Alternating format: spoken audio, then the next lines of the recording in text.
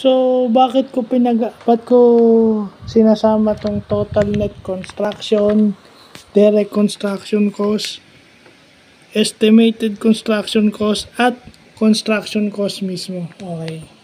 Itong construction cost and the other related terms, eh kasama rin ito sa information technology infrastructure.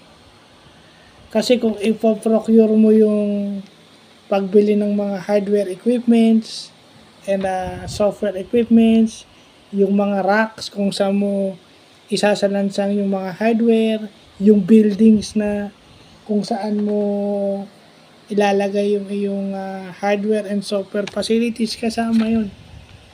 So yung total net construction cost is yung total aggregate cost, yung total nun lahat plus kung ilan yung minus kung ilan yung itinulong o kung may financial assistance kayo, yun, nakaawas na doon yung financial assistance sa total. So that is total net construction cost. Yung direct uh, construction cost naman, yun yung nagagastos ng construction manager.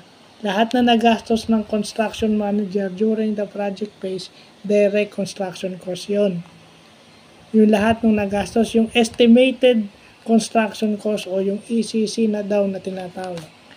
Yun daw yung inestimate ng contractor. So kung may contractor kayo, kasi karamihan naman ng construction projects may contractor eh, di ba? So ECC.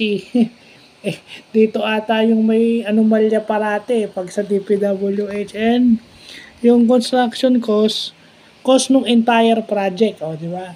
Kasi kasama sa project yung hardware at saka software pagdating sa IT. Sa IT project management, pag sinabi mong construction cost, kasama lahat yan. So, importanteng alam natin yan, yung meaning yan. So, yun lang po.